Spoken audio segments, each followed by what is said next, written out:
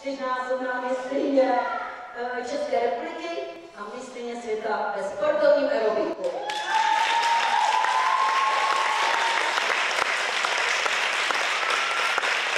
Základní škola Ladova v Litoměřicích přivítala ve své tělocvičně vzácného hosta. S místním kroužkem aerobiku si přijela zasvědčit bez sporu největší ikona tohoto sportu u nás, mistrně světa Olga Šípková. Protože už tady roky vedu kroužek aerobiku a ještě jsem tady neměla nikdy takovou hvězdu, jako je Olinka Šípková, tak jsem ji potkala v září minulého roku na tělovýchovném semináři, oslovila jsem ji a ona přijala naši nabídku a takže dneska si s námi, s kroužkem aerobiku zacvičí, ukáže nám svoje umění.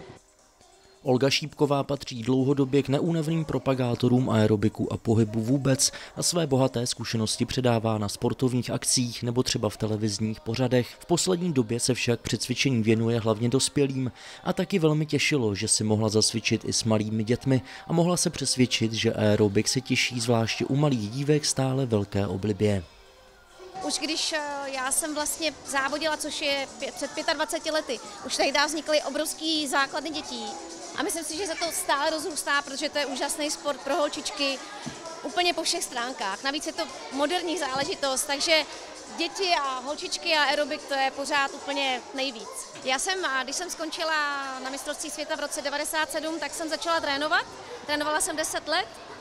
Měla jsem i reprezentanty, měla jsem i malé holčičky, a těch deset let jsem jim věnovala každý den eh, strašně moc, strašně moc energie, pak se mi narodilo druhé dítě a, a šla jsem si o to odpočinout a už malým dětem nepředávám, takže dneska mám šanci, už předávám jenom dospělým ženským.